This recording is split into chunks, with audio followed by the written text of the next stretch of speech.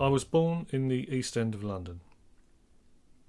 My earliest school memory was of a playground, a concrete square with high fences.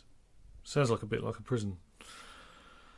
We moved to Essex, where I mostly grew up. Yes, Romford, Southend, nightclubs. The only way is Essex. So Romford and Southend was now nearer. I was 17 when I started my work career in London. I got married and have a son.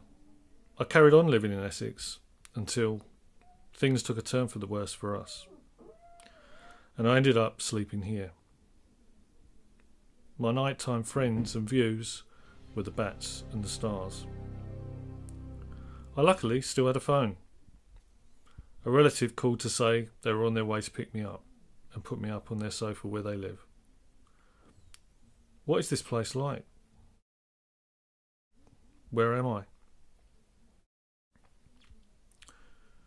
Whilst in Devizes, I noticed a leaflet concerning help for the unemployed. So I attended the group and found it opened doors. I've met many people and opportunities, including learning to produce this story. So I've changed location but when I sit out at night, one of the views stays the same. I still have the bats and the stars.